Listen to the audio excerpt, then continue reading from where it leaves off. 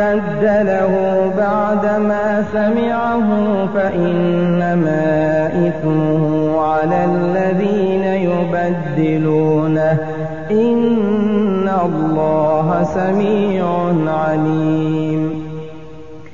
فمن خاف من موص جنفا أو إثما فأصلح بينهم فلا إثم عليه. إن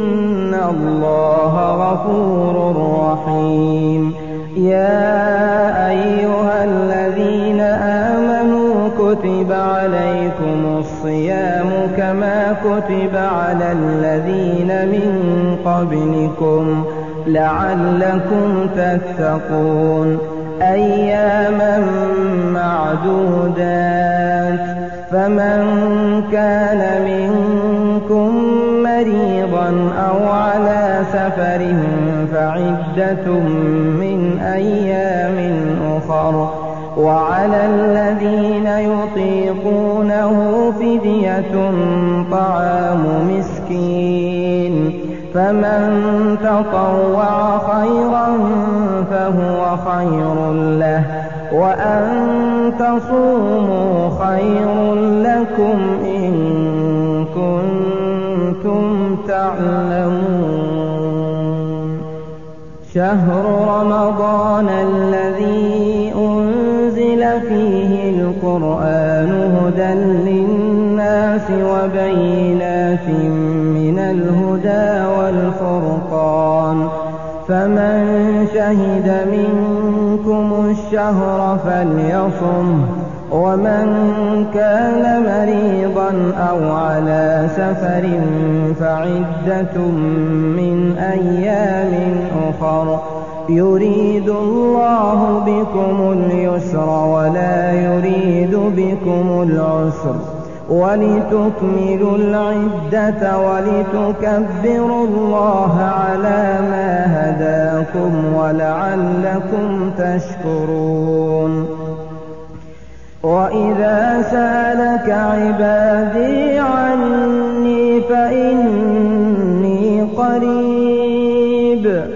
فإني قريب أجيب دعوة الداع إذا دعان.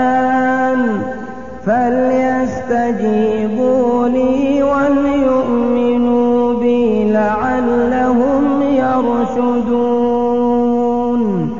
أحل لكم ليلة الصيام الرفث إلى نسائكم. لباس لكم وأنتم لباس لهن. علم الله أنكم كنتم تختانون أنفسكم فتاب عليكم وعفى عنكم.